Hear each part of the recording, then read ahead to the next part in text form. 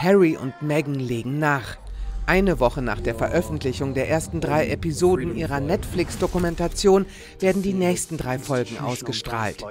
Dem Trailer und der Meinung von Experten zufolge könnte es nun um einiges explosiver werden.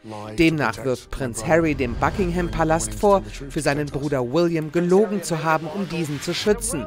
Umgekehrt habe keiner die Wahrheit sagen wollen, um ihn und seine Frau Meghan zu schützen. Die US-Amerikanerin sagt in dem Trailer, sie sei den Wölfen zum Fraß vorgeworfen worden. Gegen wen sich die Vorwürfe genau richten, bleibt zunächst unbeantwortet. Allerdings legt der Trailer nahe, dass Harry seinen Bruder William und dessen Umgebung für einige Geschichten verantwortlich macht, die in der britischen Presse über ihn und Ehefrau Meghan veröffentlicht wurden. Dies könnte zu neuem Zündstoff im Bruderstreit führen. In den ersten drei Netflix-Folgen von Harry und Meghan ging es um die Boulevardpresse und den Rassismus im Königshaus.